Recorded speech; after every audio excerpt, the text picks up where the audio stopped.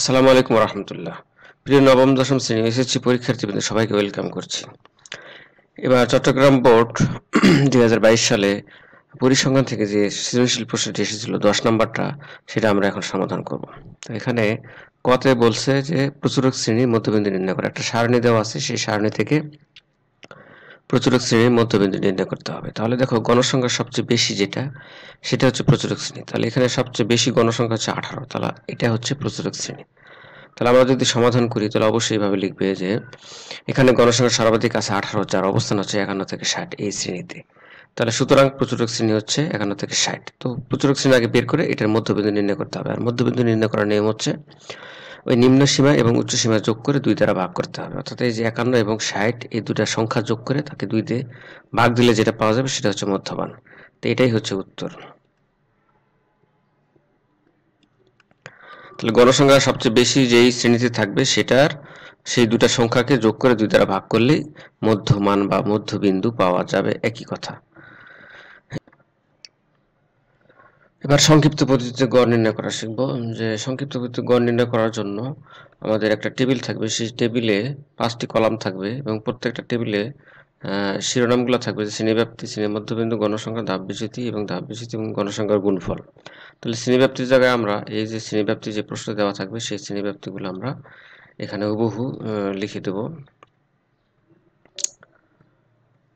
এরপরে শ্রেণি মধ্যবিন্দু নির্ণয় করতে হবে যে এরপর গণসংখ্যাগুলো হুবহু গণসংখ্যার কলামে বসিয়ে আমরা যোগ করে দেবো। এখন মধ্যবিন্দু নির্ণয় করব যে মধ্যবিন্দু এই নিম্নমান এবং উচ্চমান যোগ করে দুই দ্বারা ভাগ করতে হবে। অর্থাৎ এখানে একুশ যোগ তিরিশ যোগ করলে হয় ফিফটি ওয়ান সেই ফিফটি ওয়ানকে আবার যদি দুই দ্বারা ভাগ করি তাহলে পঁচিশ দশমিক পাঁচ। তাহলে এইভাবে প্রত্যেকটার মধ্যবিন্দু আমাদের নির্ণয় করতে হবে এবং দাব বিচিত্র কলামে কীভাবে ফিল আপ করব? যেখানে সবচেয়ে বড় যে গণসংখ্যাটা আছে, সেই গণসংখ্যা শ্রেণি মধ্যবিন্দুকে আমরা আনুমানিক গড় বা অনুমিত গড় এ ধরে নেব। এবং এই যে, এই সারিতে ধাপ বিচিত্র কলামে আমরা এখানে zero minus one minus two minus three এভাবে নিচে ওয়ান টু থ্রি।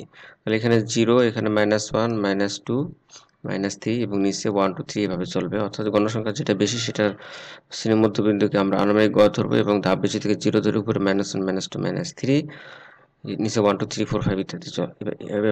অর্থাৎ এখানে আমাদের এই কাজ করে নেওয়ার পর আমাদের এই যে গণসংখ্যা এবং ধাপচিতি গুণ করে আমরা এই এই কলামে লিখব। অর্থাৎ এখানে তিন আটা চব্বিশ, অর্থাৎ মাইনাস টোয়েন্টি ফোর বারো দুগুণে চব্বিশ, পনেরো পনেরোকে পনেরো, আঠারোকে শূন্য দ্বারা ভাগ করলে গুণ করলে শূন্য হয় এবং সাতকে সাত। এখন এগুলো সবগুলো আমরা যোগ করে দেবো। অর্থাৎ এখানে তোমরা মাইনাস সংখ্যাগুলো আগে যোগ করে নেবে, অর্থাৎ টোয়েন্টি ফোর তাহলে এটা যোগ করে এটার সাথে আমাদের এই যে সাত যোগ করে দিতে হবে। অর্থাৎ এখানে যোগফল যোগফল হবে মাইনাস ফিফটি সিক্স তাহলে আমাদের যে এখন যে গণিতের সূত্রটা যে S plus summation F U I by N গুণ হচ্ছে এইচ, তাহলে এখানে এই হচ্ছে আনুমানিক গড় এবং এই যে মাইনাস এফ আই ইউআই এইটা হচ্ছে যোগফল হচ্ছে সামশন এফ আই ইউআই এবং শ্রেণি ব্যবধান হচ্ছে এখানে দশ, অর্থাৎ এই যে চল্লিশ থেকে তিরিশ বিয়োগ দিলে দশ হয়, পঞ্চাশ থেকে চল্লিশ বিয়োগ দিলে দশ হয়, শ্রেণি ব্যবধান এখানে দশ। এখন ক্যালকুলেশন করে দিই, এই পঞ্চাশের সাথে এটা গুণ করে দিলে পাঁচশো ষাট হয় এবং প্লাস মাইনাসে মাইনাস হয়, পাঁচশো ষাটকে আবার ষাট দিয়ে ভাগ দিলে নাইন পয়েন্ট থ্রি থ্রি হয়। তাহলে পঞ্চান্ন দশমিক পাঁচ থেকে নয় দশমিক তিন তিন বিয়োগ দিলে হয় আমাদের ছেচল্লিশ দশমিক এক সাত। প্রায় এখানে প্রায় কথাটা লিখে দেবো, কারণ দশমিকের পর এখানে কিন্তু আরও অনেকগুলো সংখ্যা আছে। এটি হচ্ছে সংক্ষিপ্ত বৈদ্যুতিক গণনের সারণী এবং এরপর আমরা অজিব অঙ্কন করব। তো অজিব অঙ্কনের জন্য আমাদের ক্রমযুক্ত গণসংখ্যা সারণী তৈরি করতে হবে। অর্থাৎ প্রথম যে গণসংখ্যা সেটা যা আছে তাই লিখবে, এবং এই পরেটা এটার সাথে যোগ করে দিলে, যে বারো আর আটে বিশ বিশ আর পনেরো পঁয়ত্রিশ পঁয়ত্রিশ আর আটে আঠারো এখানে তিপ্পান্ন, তিপ্পান্নর সাথে এখানে ষাট হবে। এবার আমরা সব কাগজে চলে যাই।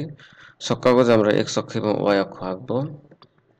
এক্স অক্ষ বরাবর আমাদের শ্রেণীব্যাপ্তির উচ্চ সীমাগুলো বসাতে হবে এবং ওয়াই অক্ষ বরাবর আমাদের ক্রমযুক্ত গণসংখ্যা বসাতে হবে। তাহলে যে সারণীটা আমরা পাই যে ক্রমযুক্ত গণসংখ্যা, এখানে উচ্চ সীমাগুলো বসাতে হবে এবং এই যে দেখো এক্স অক্ষ এবং অক্ষ পরস্পর অভিমুখে সেট করার পর এখানে আমরা একটা ভাঙ্গা চিহ্ন ইউজ করব এইভাবে।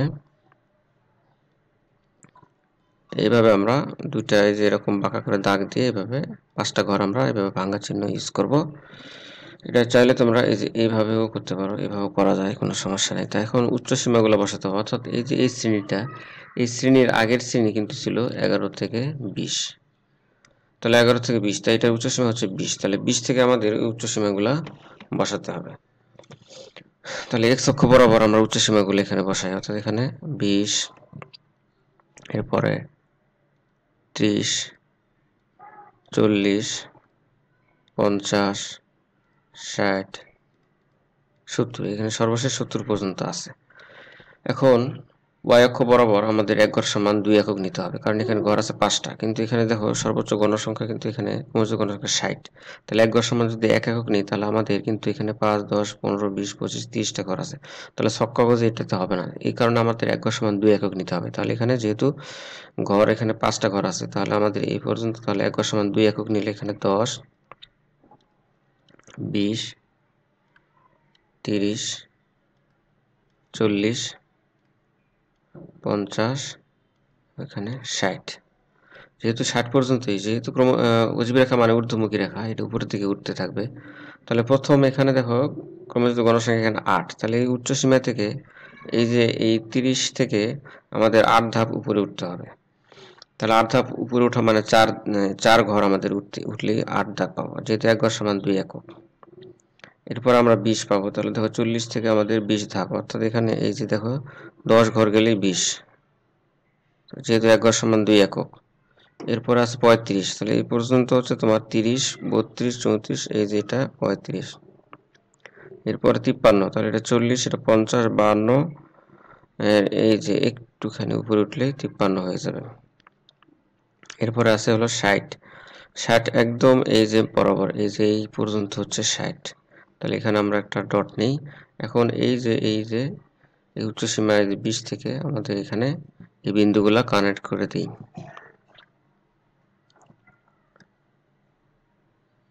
সোজা করে কানেক্ট করে দিতে হবে, একটু বাঁকা হয়ে গেছে। তাহলে এটাই হলো অজীব রেখা। অজীব রেখা মানে ঊর্ধ্বমুখী রেখা। এখন শেষে একটু বিবরণ দিয়ে নেই।